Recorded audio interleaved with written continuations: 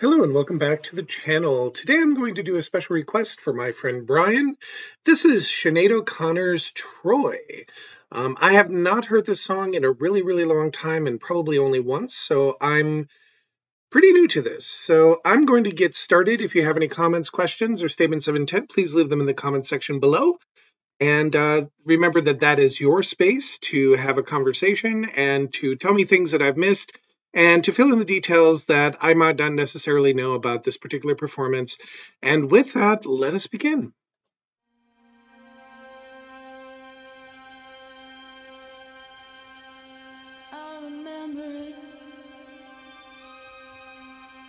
In a rainstorm, sitting in the long grass in summer, keeping warm.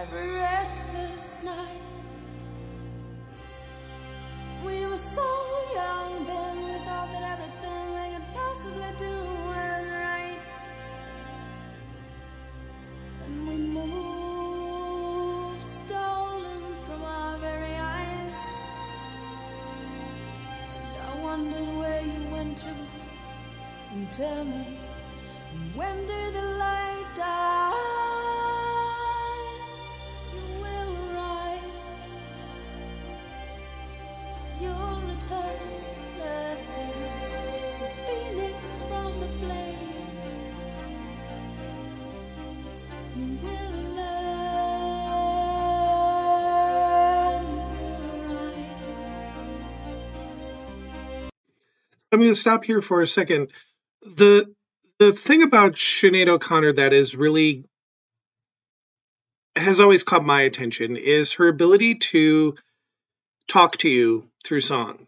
She's very, very conversational and she's very introspective at the same time. So a lot of the songs that I've heard from her are very expressive, but they're very internalized. They're they they talk about her internalized strives or or stuff like this. And so here she is using a very conversational tone to set the pace. And she's also using, she has a really great tone with her when she flips up into her head voice. And she uses those breaks in her voices effectively to bring about emotional changes in the song. And so that coupled with the the instrumentation underneath is is something that draws out a lot of the emotion for the listener and it draws us into the conversation that she's having with herself or in other songs with other people. So I'm going to take it back a couple of seconds because it's building up to something, and we will continue.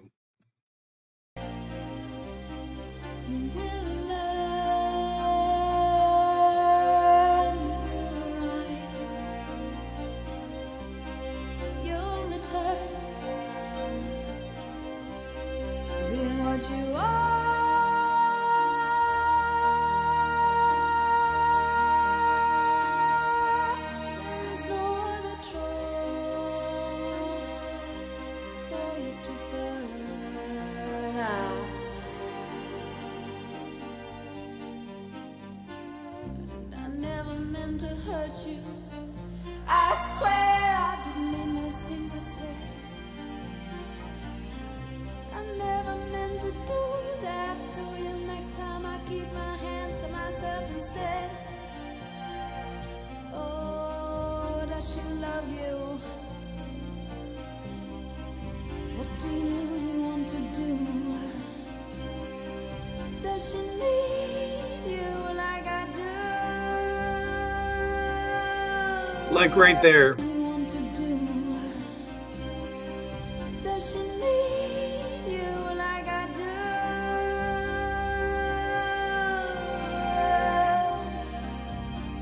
love her? Is she good for you? Does she hold you? like I do?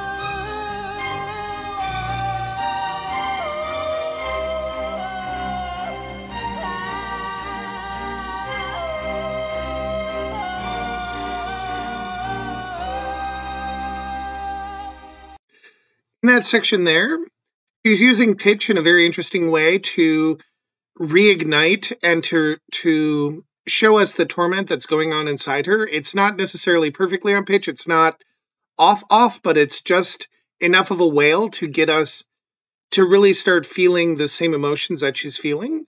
So we're going to go back and listen to that and we will move forward. And when I say that she's playing with pitch, she's using it rhetorically. She's using it with purpose to get across a message. So even though on American Idol they talk about pitchiness in a bad way, the way she's using it here is to reinforce the character of the song.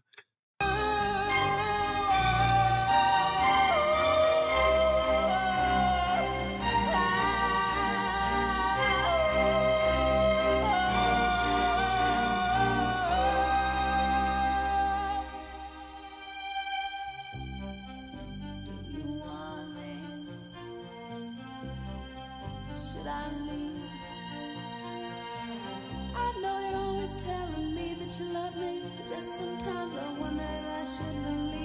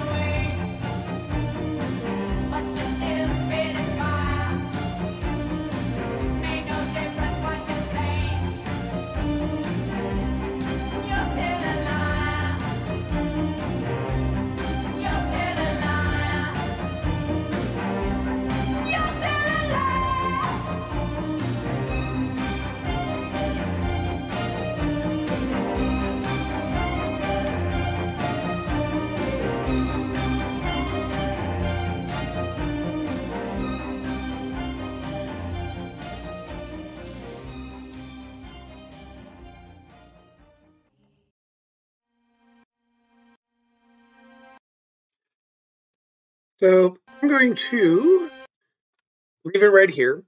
Um, what I really like about Sinead O'Connor in in all of the songs that she does is is again it's it's the emotional commitment. I didn't stop too much during a lot of the emotional side of the song, like the the the the louder side of the song, um, because there's that's that's one of the things that she's really good at is she's really good at bringing you in with really soft stuff, and then she's really good at letting you have it, so to speak. And that's that's that's that emotional commitment that she's always had, and that's what sustains any great artist's career is their ability to bring people in emotionally to their songs or to tap into an emotion that their audience wants to to feel whether it's escape or whether it's complete emotional breakdown that's that's what an artist is supposed to do and and Sinead O'Connor understands her instrument and what it can do in a way that brings out emotion. And then also you add in a video where, and again, I believe this was very early in her career, so this should be the late 80s. Yeah, it should be the late 80s, probably early 90s. I don't know exactly, but the cinematography, the art direction in this this video is very, very symbolic of that that emotional tor- turmoil that she's going through. So there's a lot of flames, there's a lot of darkness, there's a lot of makeup used strategically to help reinforce the message. And that's the stuff that I, I've taken away from this. And it, it goes really well with what Sinead is known for. And so um, I'm going to leave it to you guys. You can talk about this in the comments section below. If I've missed stuff, let me know. If there's stuff that you want uh, to add to the conversation, because again, this is my first real view of this. Now that I've looked at it, I don't remember it. Uh, if I did see it, it must have been a decade or more ago. So um, I don't remember it. Uh, so if you want to fill in some details below that I don't necessarily know, um, please do so. That is your space down below. If you didn't like it, just move on. Um, but with that, I'm going to let you guys enjoy your day, enjoy your holiday. It should still be the holiday season when I release this. So I'm going to let you go and enjoy that. And as always, be safe.